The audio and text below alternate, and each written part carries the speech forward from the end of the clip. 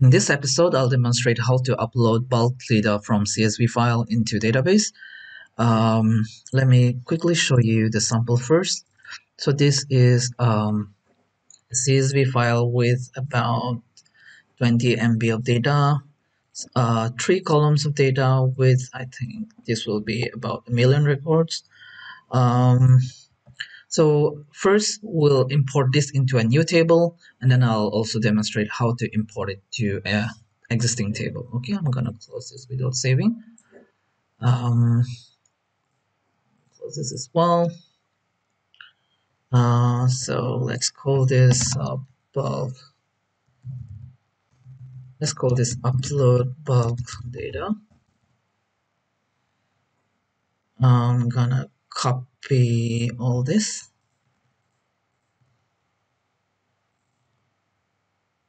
um, this part will rewrite this part. The rest will be the same.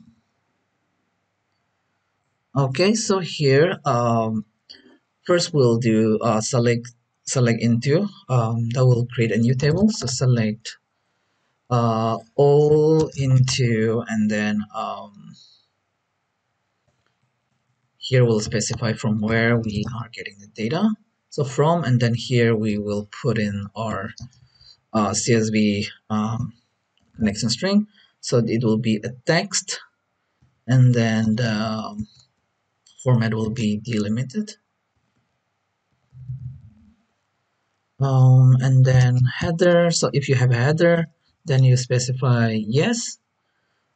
Um, so we have header. So if you don't have a header you set set this to sorry this will be header. If you set this to no then it will create a field like uh, field 1 2 and 3 and so on okay? Uh, so we'll specify yes for our uh, connector. And then next you can specify the database path um, not the full uh, file but just the path okay so here we'll say um, database and then is equal to and then this will be the path and dot you specify the file name. So the file name is this dot and then within the brackets you put this. So we're saying select into and then here we'll specify the table uh, let's call this new transaction transaction table something like that. Uh, select all into this table and then the format is uh, this will be text. Um, delimited just cross-checking this to make sure. Database. And then this is gonna be the path and the file name okay so let's try and run this. We can add a new button here.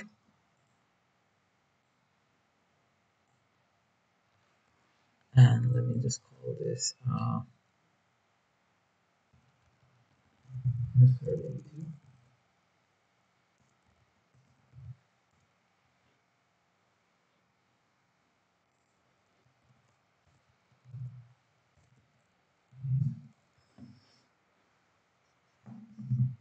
Okay, let's try this.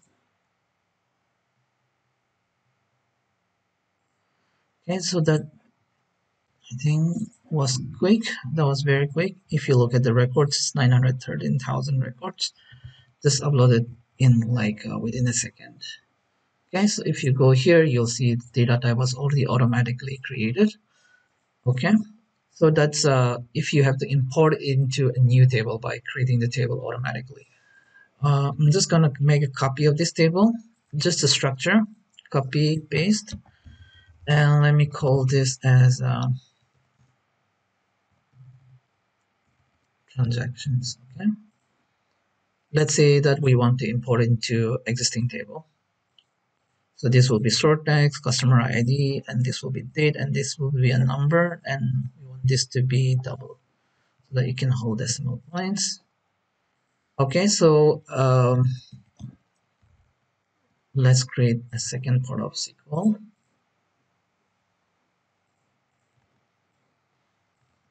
I'm gonna copy this.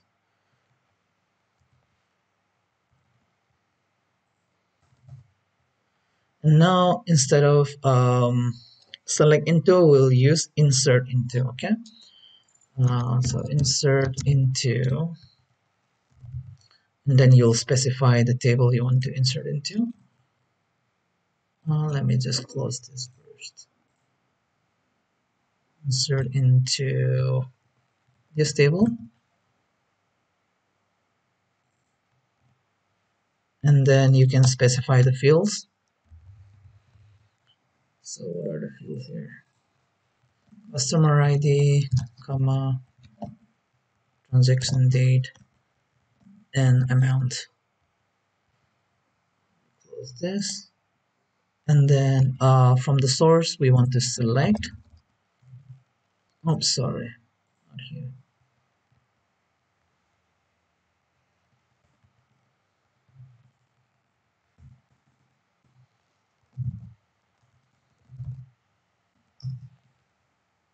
Just use the same fields because these are the field names that are there in CSV uh, select this from.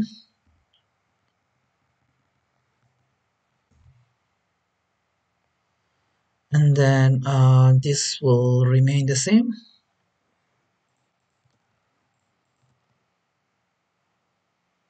Let's try again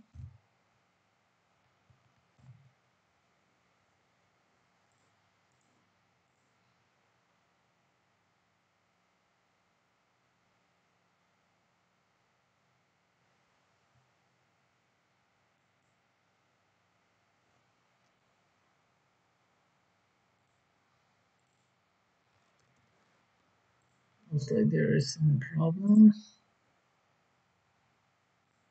It didn't return any error though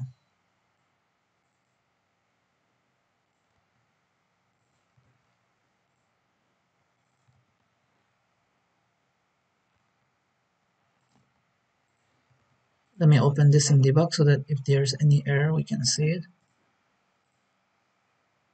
Okay so it says syntax error near insert into okay I think this is a problem.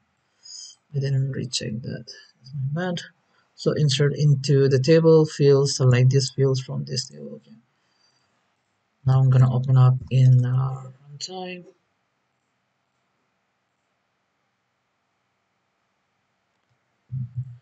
Okay so let's see. I'm gonna refresh F5 okay so all the data has been imported successfully 913 records into existing table okay that will be it for this video. In the next video we'll start uh, looking at how to read the data from database